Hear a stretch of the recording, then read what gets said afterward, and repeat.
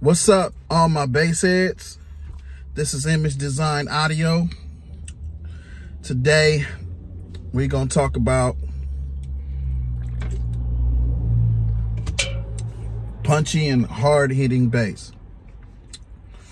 Um, somebody watched my other video, so I figured I'd break it down to everybody about what hard-hitting bass really is and punching bass really is, really is a lot of people say that the question asked, and I've heard this argument before, that two ohms hits harder than four ohms, which is true. But four ohms can hit just as hard as two ohms. So let me break it down. First, I'm going to go forwards and then I'm going to go backwards if you're on four ohms and it's not hitting hard, it's because four ohms is more clear and four ohms hits more lows than two arm ohms. It's a fact. So, um, depending on how much power you're pushing through there, it's going to be a difference. So if you're on four ohms and you want to hit hard, you want to EQ in like 80 hertz because every frequency is different. When you get from 80 hertz down to 50 hertz, the frequency gets of the bass gets subby. The higher the bass, the hard, more hitting hard it is and more punchy it is.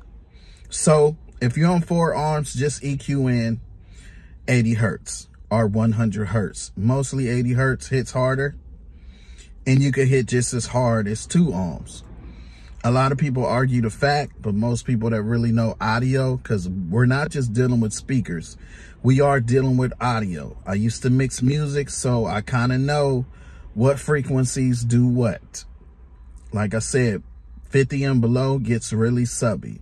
When you get up to 60 and 80, you start hitting hard. So if you have an EQ, dial in 80 hertz, or if you have a bass processor like the Epicenter, you want to take your sweep and push it all the way up. So it will sweep those higher frequencies to hit harder.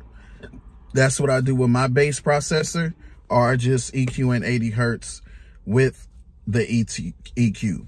So that's my Q&A for today on hard hitting bass.